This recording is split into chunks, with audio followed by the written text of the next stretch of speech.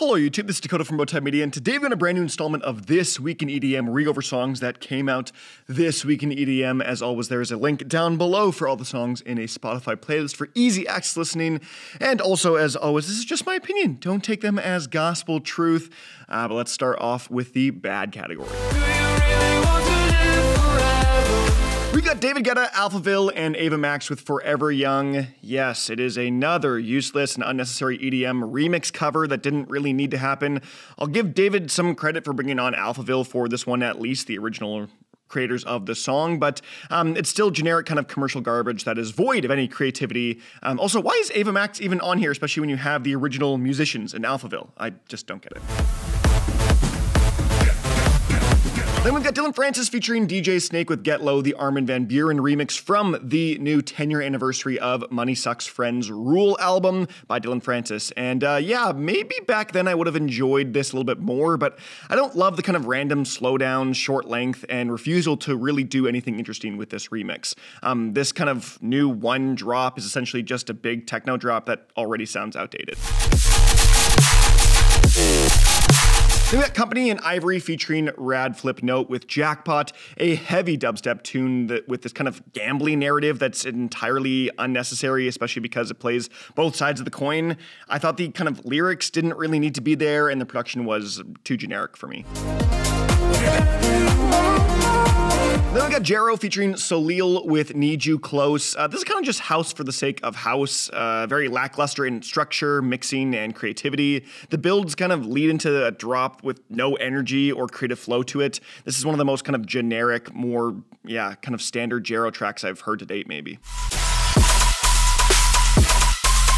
Then we got Aura with To You. I would say I'm quite underwhelmed by this track, honestly. Very much it's trying to hit on that kind of bass house trap itch that Isonok has been scratching all year, and it just doesn't really do it justice. The kicks are pretty flat, and the mixing left a lot of energy of the track uh, in the studio rather than on the dance floor.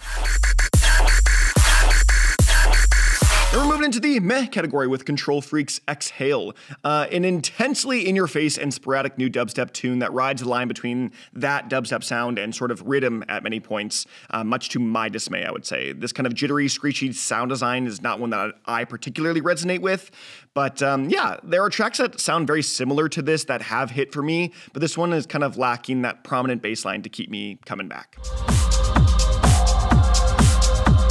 We got Whipped Cream with Intro Call, the start of Whipped Cream's newest Caroline era, which we aren't really sure how that's going to play out with branding wise. Um, but this is the kind of first introduction to that Caroline character era um, that begins with this sort of intro call. Um, I get having this kind of as an EP or album opener um, to establish what's to come later, but released as a single uh, with nothing else to it, it's kind of a little strange that there isn't a whole ton going on narratively because this is the start of the narrative and we haven't heard the rest of the narrative yet. So I don't really get the song yet. Then we've got Vicetone with Celebrate. Vicetone might still be finding their groove, um, but this is a vast improvement over their last couple releases. The mixing actually sounds pretty competent, and the lead melody doesn't give me a headache. Uh, this is still very much generic house, but hey, they're just they're they're working their way back up to their dominance, right? Right? Right? Then we've got Gil Glaze and Afrojack with Don't Go, a simple and minimalistic garage tune with a short runtime. Uh, otherwise, not a whole ton going on here, but it does sound pretty clean. I'm surprised to hear this from these artists, Afrojack in particular, but um, hey, it's not too bad. Kylie Minogue with Someone For You from the new Tension 2 album. Uh, a song that's kind of baked in nostalgia from its structure, vocal inflection, and kind of faint disco elements, but it's all kind of covered in this generic house production that both takes away some of the energy, doesn't really match the tone of the rest of the tune for me. Then we've got Martin Garrix and Sem Vox featuring Jamie with uh, Gravity. And I would say this is another pretty underwhelming commercial house track with uh, not much to keep the listener really engaged over repeat listens. It's a more by the book, simple track with a melody that sounds pretty outdated, honestly. Then we've got Ace Aura with Ephemeral from the new Ephemeral EP. This is a nice color bass tune, uh, but one that is very much in the grand scheme of Ace Aura's discography, uh, pretty similar territory, and one that sounds a lot like some of his other tracks. So for me, this is just lands here. More plastic with Sabotage, a lovely drum step tune with a bit of a jittery lead melody. I just wanted a little something more, like an extended movement or an additional kind of element um, in that back end of the track. So for me, this one kind of just was okay, might have maybe landed in good on a good day. Then we're moving into the good category with Godlands featuring Emski with Desire from the new double sided single of Hybrid Trap hits from Godlands. Um, nothing too crazy or out of this world with this new one, just a well put together, well mixed, and produced trap cut. Then we've got If Found with Follow from the new Worth the Crash EP, another kind of more club festival oriented track from this EP, and I absolutely adore the kind of final bright and light movements that gives the whole track a sense of finality to it. Um, I didn't love the first bit of the track, but the ending is is quite operatic and fantastic. We got Blank and Riot with Revival for intense, kind of heavy dubstep. Um, this collab does kind of go hard. It's a little same samey at some points, but is generally a solid track with a fresh melody and sound design. We got REZZ and X1Y2 with Proximate from their new collaborative EP Novus. Some of REZZ's kind of better mid tempo tracks, I would say to date. You've got that kind of classic dark brooding atmosphere, but with these kind of added digital elements sprinkled all throughout that really keeps the track from being just another generic REZZ song. Then we've got Castor with Moonlight, a more simplistic, less atmospheric liquid drum and bass tune from Castor. I do think it's a solid track with great mixing and stellar production. This is just another just solid, great, well-produced drum and bass tune. And we got Reaper with Surfacing from the new Challenger Deluxe. And uh, yeah, this is another strong dance floor D&B track from Reaper that does sound like a majority of the rest of his discography, but this one does pack quite the punch, and I think without the vocals, this wouldn't have slapped as hard as I think it did. Then we got ISOXO and Fuzi with Star Sound Part 2 from the new Kids Gone Mad IRL sort of deluxe version of the album. Uh, this is a singular drop, more melodic version of the iconic original track. Uh, other than the lead melody, a majority of the song follows the same rhythms and notes of the original, which isn't a bad thing in this case. Um, I do think the original is still a stronger song, though, and I would say actually much stronger than this one, even though this is still solid.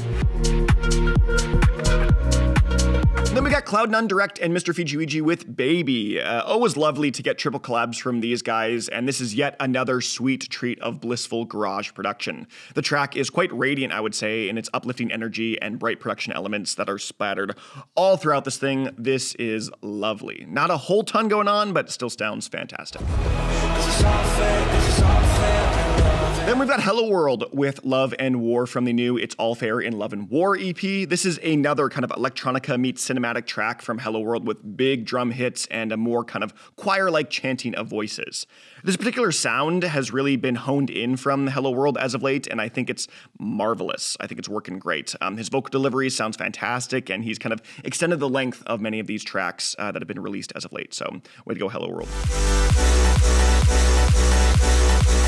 Then we got Conro with Violet Sky, A Letter for You from the new Violet Sky EP. Uh, this title track is named after Conro's daughter, which is a beautiful thing. And uh, production wise, Conro has kind of pulled back the intensity a little bit more. This one uh, opting for a more atmospheric electro pop tune rather than kind of that heavy emphasis on that commanding lead melody or a house beat, which he's done a lot in the past. If anything, this is actually a mixture between his more commercial friendly electro pop house tunes and his kind of classic future based sound.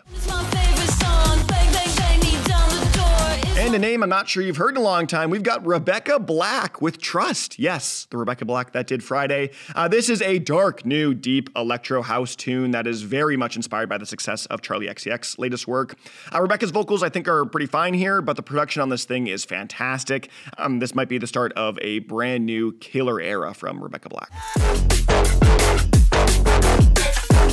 Got Saint Punk with Shadow, Station 6, featuring Matthew Grant, uh, from the new Stations album that's out now by Saint Punk. And this is crushing drum and bass production with a heavily compressed bass lead and strong punk vocalist there in Matthew. Uh, Saint Punk has really found a unique niche for this sound in particular, and I think it's really, really working well for him. There is a lot of overlap here, actually, from this record, I would say, and the latest Chase and Status mixtape in terms of sound design and drum and bass production, but uh, another fantastic tune.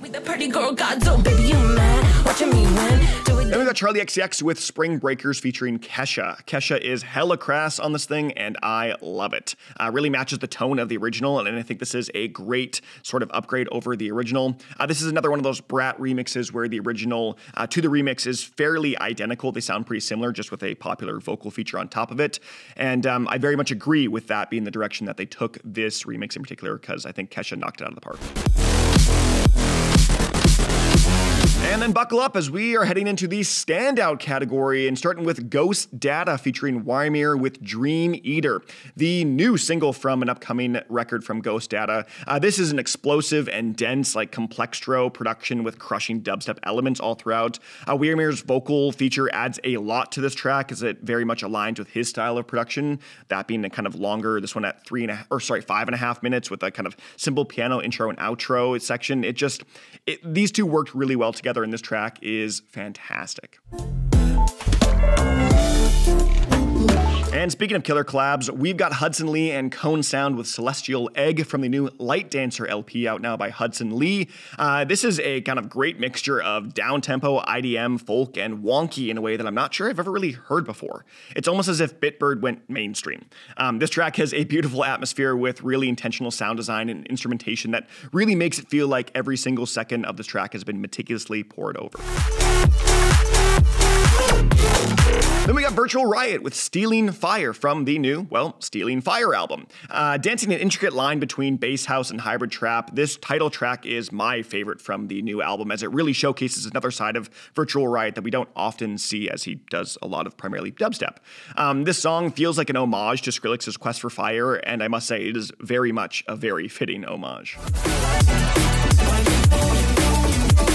And finally, we've got Grant with Lush. You knew it was going to be here. Uh, Grant is back with a new drum and bass tune, and this thing is so playful and fun. You can really hear how much fun Grant had making this song in particular. It's very evident in the sound design and the song structure as he kind of pulls back the whole thing for this 30 second outro that wipes away all the digital noise for a very kind of more raw final movement that uh, is a little bit more indie in style and design that um, reminds me a lot of what he's produced for a lot of other artists rather than his own single style or singles released um, under his name. But um, absolutely fantastic track. Love Grant. Love this track.